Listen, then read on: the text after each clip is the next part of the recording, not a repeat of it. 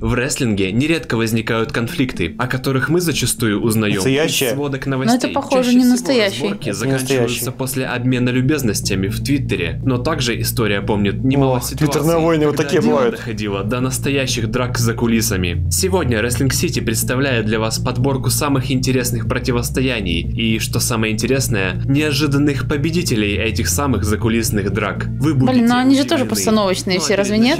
Ну, эти закулисные драки, да. канал, а с нас свежие ролики каждую А, неделю. написано 5 Погнали. настоящих драк рестлеров. Ну ладно.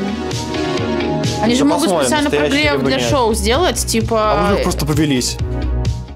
Наверное, самая известная закулисная драка в рестлинге состоялась между Голдбергом и Крисом Джерико еще во времена их работы в WCW. Известно, что по какой-то причине Голдберг относился не лучшим образом к Джерико, а позже и вовсе отказывался участвовать с ним в матчах. Все дошло до ж того, что выходит. Билл позволил себе наорать на Криса за кулисами перед другими исполнителями. Джерико А. это сильно возмутило, после чего и началась драка. Ну а самое интересное то, что Y2J довольно быстро провел захват Headlock, поэтому Голдберг не смог нанести своему оппоненту никакого урона. Джерико долго держал захват, понимая, что если отпустить, то Билл, обладающий более серьезными габаритами, может его попросту разорвать. В итоге эта драка оказалась победной для Джерика, так как Голдберг не смог даже и пальцем тронуть Криса. После этого случая Билл больше не позволял себе грубости в сторону Джерика, О, как который напугался. обеспечил себе серьезный авторитет за кулисами на долгие годы вперед.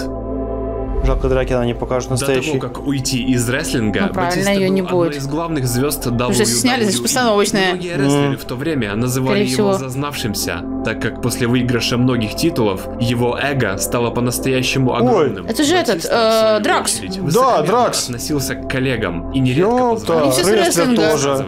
Один из рестлеров не выдержал такого отношения со стороны Батисты во время съемок Офигеть, да? рекламы от М. WWE. И произошел настоящий конфликт. Речь идет Опа. о Букере Ти, у которого с будущей звездой кино началась словесная перепалка, а затем и вовсе драка. Очевидцы отмечали, что Букер довольно легко стал победителем в этом махаче, несмотря на куда более внушительные габариты Батисты. Как и в предыдущем случае, Избили масштабы Дракса. эго проигравшего рестлера стали намного скромнее. Мгм. В преддверии Монреальского облома, о котором мы уже много раз рассказывали в наших видео, Брэд Харт и Шон Майклс жестко конфликтовали и откровенно ненавидели Ну, друг друга. классные штаники. Весной 1997 года, во время своих Яркие. промо, и Брэд и Шон позволяли себе высказывания, в том числе о личной Ой, жизни. его там, Однажды Майклс маму. намекнул в своей речи на романтические отношения между Бреттом и Санни Сич. Эти слова настолько взбесили Харта, что позже за кулисами произошла настоящая жестокая драка. В этом Ого. противостоянии победителем вышел Брэд Харт, который даже умудрился вырвать клок волос из головы Шона. После этой ситуации Майклс держался от Бретта подальше, так как их следующий бой за кулисами мог бы означать для Шона не только потерю какого-то количества волос, могло бы дойти и до более серьезных Ну, последствий. почему надо оторвать? М.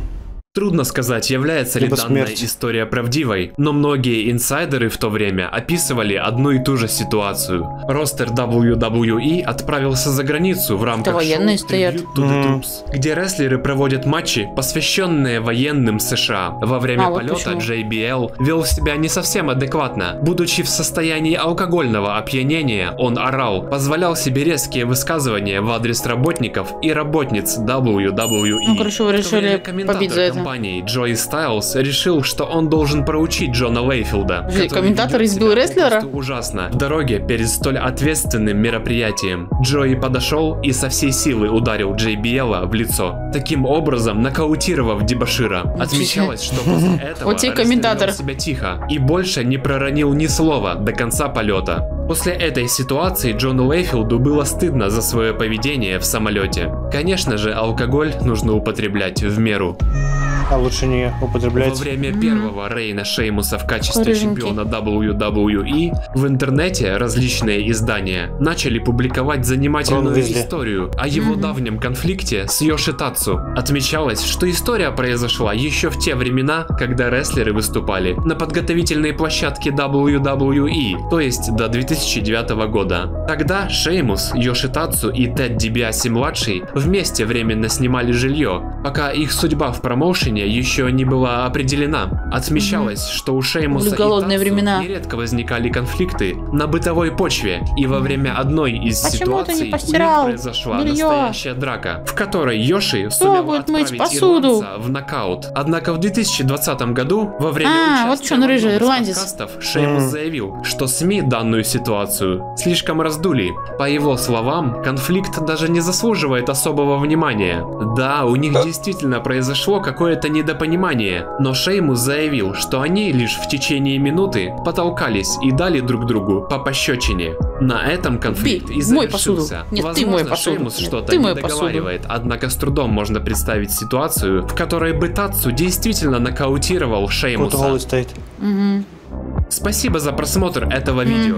А про какие здоровье, обращайся. слышали вы? Не, ну, этом в настоящее. комментариях Драки же не и показали вот эти вот закулисные. Ну да. телеге. Ну, тоже, знаешь, не факт. Ну, Может, СМИ реально раздут А же. вдруг там реально раздули, там, Ну ну, да. придумывали Мало там ли, мало ли. Для, для какого-нибудь пиара боя Ну да. популярного.